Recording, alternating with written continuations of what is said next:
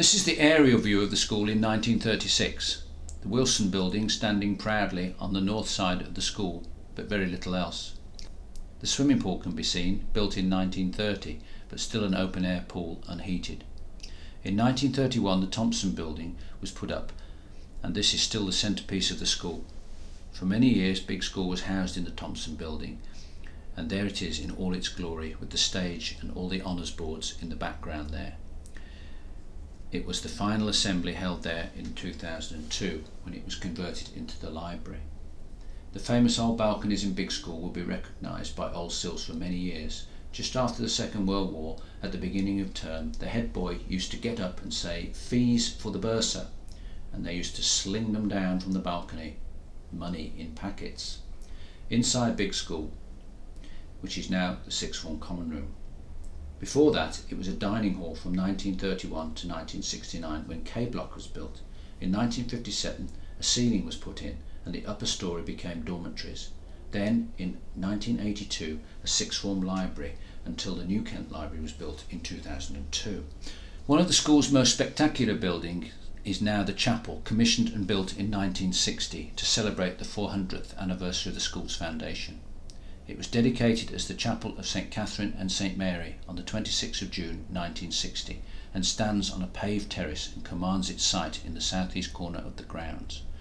Purpose built, it provided the venue for many aspects of school life until the opening of the Bushell Hall and the music school. The cultural centre of the school may have shifted, but the chapel, still a movingly impressive building in 2010, will continue to play a significant part in the unfolding story of Solihull School. This aerial photograph taken in 1972 shows the completed chapel and also the quad, now with all sides completed. The sports hall has also been constructed, but schoolhouse is still recognisable. Only the George Hill building now has to fit into that jigsaw. The extensive teaching block that dominates the west side of the school was opened in 2005 and named after George Hill, OBE, JP, a long-time governor who served from 1966 to 1982. A well-known Solihull figure, George was a councillor for 37 years. His greatest contribution was masterminding of a reorganisation of the finances of the 1960s, which ensured a healthy and secure financial future for the school and made possible all the developments that have taken place ever since. The craft block, known as the Fort, was made into a first-class design and technology centre in 1987 looking back down the avenue with the science department on the right, which is now the biology section, which was developed in the 1960s, 70s and 80s, and the modern changing rooms to the new gym, which built, was built in 1924. And just peeping out there is the Wilson building. In front of the Thompson building is the Master's Lawn, which was created in 1953, replacing wooden classrooms which were removed. Also, the west wing of the Great Quadrangle was built, at the end of which was the new and now the old gym. The opposite or east side, which is known as C Corridor, was added in 1936. At first the corridors were open to the elements, cloister-like, but thankfully they were glazed in 1966. Further additions in the northeast corner of the quad, where the junior school is located, were made in 1965. The modern junior school emerged in 1991 after substantial extension and refurbishment. Its new frontage now faces the Bushell Hall and the new music school in a skillfully designed recreation area. The final piece of the quad was completed in 1953 with the construction of the Memorial Building. The Memorial Building comprised three classrooms and a newly commissioned war memorial. The final alteration to the quad was made in 2002 when part of the Memorial Building, which was known as D5, was demolished to create an avenue leading to the new Bushell Hall. The War Memorial now stands alone and records the names of old Sills who fell serving their country in two world wars and the Korean War. In 2002, the foundation stone was laid on perhaps the most ambitious project undertaken at Solihull School since the Thompson Building in 1931.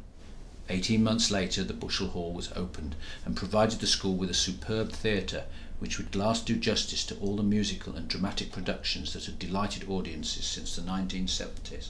It also provided facilities for the school to be able to assemble as one unit over 1,000 staff and pupils.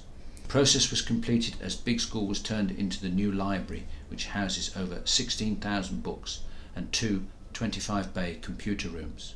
the famous old balconies, which many old sills will recognise, which backed onto the Master's Common Room, now provides areas on the first floor of the library for computers. It provides study facilities for over 100 pupils and replaced the 1960s Kent Library, opened by the Duchess over 40 years before.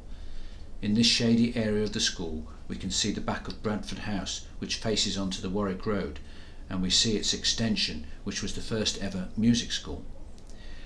The oldest building on the site, Bradford House, built in 1799, has been used for many things over the years. It was an air raid warden's centre in the Second World War.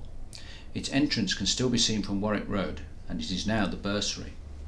And there it combines the new music school with Bradford House and the entrance to the bursary, until the building in 2009 of the modern new music school, which was named after David Turnbull, who was Director of Music from 1957 to 1991. This is the building site in 1969 for the K Block. The first floor of K Block provided geography rooms and the ground floor, the brand new refectory, was situated and it is still serving school lunches today. Later, in 1985, modern languages classrooms were opened and K Block gets its brand new top floor which can be seen there at its opening. Going back into the quad through the arches, there we have the quad in its present form. The headmaster's wing was renovated in 1988 to provide a proper reception area, which is the entrance now to the school for visitors. From the Victorian splendour of Schoolhouse to the functional opulence of Bushell Hall and the George Hill teaching block, Solihull School has kept pace with the constant demands of improvement in terms of facilities. But bricks and mortar are only part of the story. Buildings are the shells that have accommodated the thousands of pupils that have passed through them since 1560. It is people that create and people that achieve success and ensure survival. It is people in their life and times that history is really about, and the buildings of Solihull School represent that history.